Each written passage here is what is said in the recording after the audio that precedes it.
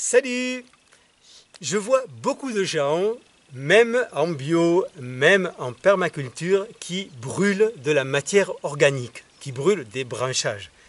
Et je trouve ça vraiment dommage parce que la matière organique en décomposition, c'est la vie. C'est ça qui permet la régénération du sol.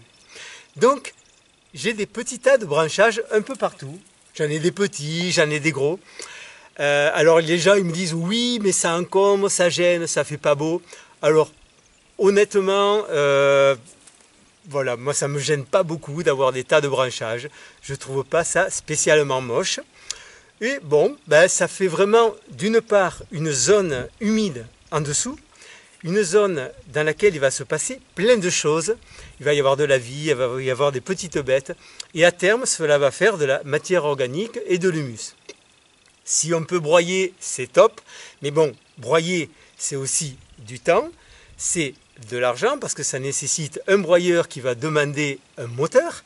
Euh, donc, quel que soit le type de broyeur, euh, un broyeur électrique, un broyeur, euh, un broyeur thermique, un broyeur qui se branche sur un moteur, tout ça, ça demande ben, soit du gasoil. Alors, ce qui se passe, c'est qu'avec le temps, les feuilles tombent au bas du tas, parce qu'évidemment avec les branchages il y a des feuilles, et que tout ça va se décomposer. Donc là on peut voir qu'il y a une belle épaisseur de branchage, donc il s'est bien tassé, le tas s'est bien tassé depuis qu'il a été mis, ça fait quelques années qu'il est là. Voilà, et donc ben, nous commençons à avoir un chouette humus.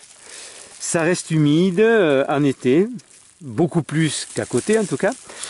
Et nous avons une chouette zone de, régénération dans laquelle plein de petites bêtes vont s'installer, vont vivre et vont apporter de la vie sur le terrain.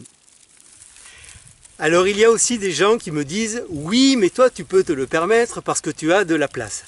Bon effectivement j'ai 6 hectares. Mais la quantité de matière organique que l'on peut avoir à stocker, donc le bois de taille, les branchages, les herbes, etc., sont en rapport avec la surface. Si j'ai un, jardin de 100 mètres carrés, ben, j'aurai moins de, de matière organique à stocker que sur 6 hectares. Donc moi je fais des gros tas de ci, de là, parce que de toute manière, euh, on a toujours les bonnes excuses. J'ai aussi des amis qui ont plusieurs hectares et qui brûlent le bois de, enfin, les branchages de taille euh, parce que bah, c'est encombrant tout ça. Donc, voilà, je te laisse réfléchir à tout ça. Laisse-moi un petit commentaire pour me dire ce que tu en penses et ce que tu en fais surtout. Euh, est-ce que tu stockes? Est-ce que tu brûles? Est-ce que tu broies? Euh, voilà, moi j'ai opté pour cette solution parce que le broyage c'est compliqué, c'est onéreux, euh, c'est pas très agréable non plus, ça fait du bruit. Euh, si on le fait avec un moteur thermique, ça sent pas bon, c'est pas très écologique. Donc là, ça prend du temps, ça va mettre des années à se décomposer, mais on n'est pas pressé. Le tas va réduire au fur et à mesure, ce qui fait qu'on peut en rajouter de plus en plus.